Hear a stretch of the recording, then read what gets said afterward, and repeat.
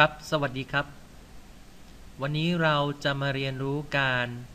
สร้าง หน้าจอสำหรับ เพื่อเขียนโปรแกรมนะครับ โดยเราจะเขียนเว็บไซต์นะครับ เป็นหน้าเว็บเพจของการบันทึกข้อมูลพนักงานนะครับ จากตารางออฟฟิศนะครับที่เราสร้างกันไว้เมื่อคราวที่แล้วนะครับ อันดับแรกทำการสร้างเว็บไซต์นะครับ new เว็บไซต์นะครับ เลือกภาษา Visual Basic ASP.NET เว็บไซต์นะครับ และคลิกปุ่มโอเค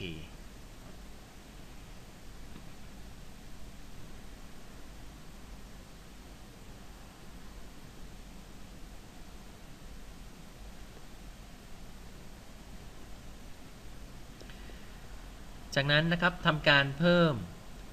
หน้านะครับ หน้าขึ้นมาใหม่ เลือก add new item นะครับ web form นะครับ ชื่อที่ได้คือ default 2 นะครับ กดปุ่ม add ข้อมูลที่เราจะใช้ในการเก็บนะครับ ก็จะมี ชื่อ เบอร์โทรศัพท์นะครับ เพศ แล้วก็ที่อยู่นะครับ โดยเราจะใช้ตารางนะครับ table นะครับ จากหมวด HTML นะครับ เพื่อช่วยในการจัดแนวนะครับ ให้สวยงามนะครับ ผม ใส่ข้อความนะครับ ชื่อ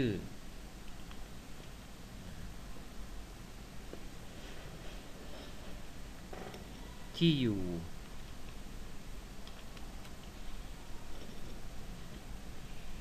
เพศ เนื่องจากว่าตัวตารางที่เรานำมาวางไว้นะครับ จะมีมาให้ก็คือขนาด3คูณ3คือมี 3 แถว 3 คอลัมน์นะครับถ้าต้องการจำนวนแถวที่เพิ่มมากขึ้นนะครับ สามารถทำได้โดย 1. คลิกเมาส์ขวานะครับ เลือก insert low below นะครับ ก็คือแทรกแถวเข้าไปนะครับ ที่อยู่ข้างใต้นี้นะครับก็ได้ หรือ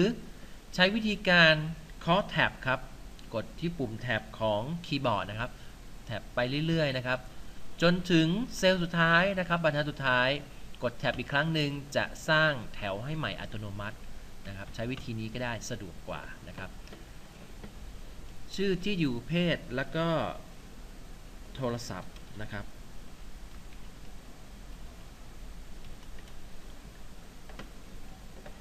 ส่วนในแนวคอลัมน์ที่ 2 นะครับ เราทำการวางคอนโทรลนะครับเอาเจกเข้าไป ชื่อผมใช้ text box นะครับ ลากมาวางนะครับ แล้วก็สามารถปรับ ความสวยงามได้ตามเหมาะสมนะครับ ที่อยู่นะครับ อันนี้ใช้ text box เหมือนกันครับนะแต่อาจจะต้องยาวหน่อยนิดนึงนะครับ เพศนะครับ เพศที่เรากรอกโดยปกติพื้นฐานเรามีเพศอยู่แค่เพียง2เพศนะครับ โดยมาตรฐานก็คือเพศหญิงและเพศชายนะครับ เพื่อลดความผิดพลาดจากการกรอกข้อมูลของ User แล้วก็เพิ่มอำนวยความสะดวกในการกรอกด้วยนะครับ เราจะใช้ตัวเลือกนะครับ ให้ User เป็นผู้เลือก ในที่นี้ขอเลือกใช้เป็น radio button list นะครับ radio button list radio button list ก็คือ เครื่องมือที่ใช้ในการเลือกโดยจะมีตัวใดตัวหนึ่งเท่านั้นที่ถูกเลือกเอาไว้นะครับจำเป็นต้องเลือกไว้อย่างหนึ่งเสมอนะครับ ต่อมาคือโทรศัพท์ครับ เป็นการกรอกหมายเลขเพราะนั้นก็จะใช้ text box นะครับ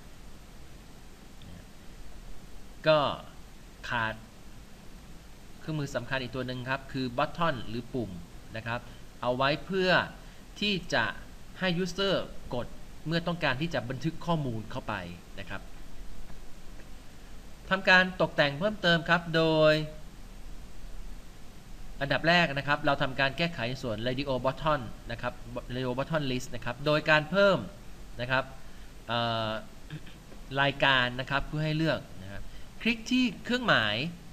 นะครับ คลิกที่ตัว radio button list นะครับ จะมีเครื่องหมายมากกว่าอยู่นะครับ คลิกเข้าไปนะครับ เลือก รายการ edit item ครับ เพิ่มรายการเข้าไป 2 รายการนะครับ รายการแรกนะครับทำการเปลี่ยน property text ครับ ให้เป็นคำว่า ชายนะครับ value นะครับ เมาส์คลิกหนึ่งครั้ง value ก็จะตรงตามกันนะครับ ในเบื้องต้นเซตแบบนี้ไปก่อนแล้วกันนะไอเทมที่2นะครับหรือ list ตัวที่2นะ list ไอเทมตัวที่ 2 ให้เป็นคำว่าหญิงนะครับ กลับมาที่ไอเทมตัวแรกครับ คือชายนิดนึงนะครับทำการปรับในส่วนของ selected ครับ จาก false เป็น true ความหมายก็คือ รายการชายนะครับจะถูกติ๊กเอาไว้ก่อนนะครับ เป็น default 1 ตัวก่อนนะครับ คลิกปุ่มโอเคครับนะเราจะได้เพศนะครับ มีรายการให้เลือก 2 รายการคือชายกับหญิงนะครับ ในแนวนี้นะครับเนื่องจากว่า เราดูแล้วอาจจะเป็นการสิ้นเปลืองการใช้ หรือการเซตความกว้างของหน้าจอนะครับ เราสามารถปรับแนวของการเรียงช้อยเลือกในแต่ละตัวได้ใหม่นะครับ โดย